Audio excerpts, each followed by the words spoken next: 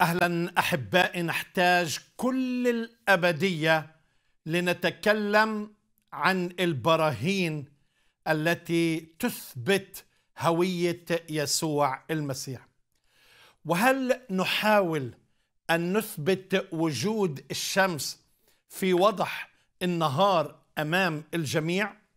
إلا إذا كان شخص أعمى جسديا لا يستطيع أن يرى الشمس وهكذا احباء كثير في ضلال وفي عمى روحي واستبدلت بمظاهر التدين الخارجي والرياء والكبرياء وللأسف الكذب.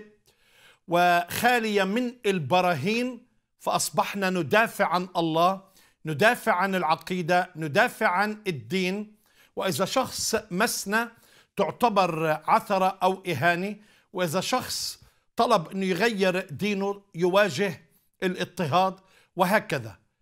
وهذا طبعا ليست المسيحية. المسيح وحده من الشيء اللي أعجبني في شخصية المسيح إنه حتى لما تركوه أعطى التلاميذ فرصة لعلكم تريدون أن تتركوني؟ أعطاهم الفرصة إنه يختاروا شيء آخر. ولكن رأوا يسوع واختبروا يسوع وعاشوا يسوع وسلكوا يسوع وتكلموا عن هذا الشخص الفريد الرائع الذي لا مثيل له. فمش بحاجة للإقناع فالشمس موجودة. يسوع أحبائي كل ما عليك صلاة بسيطة يا رب افتح ذهني. في أبسط منها افتح قلبي افتح عيني.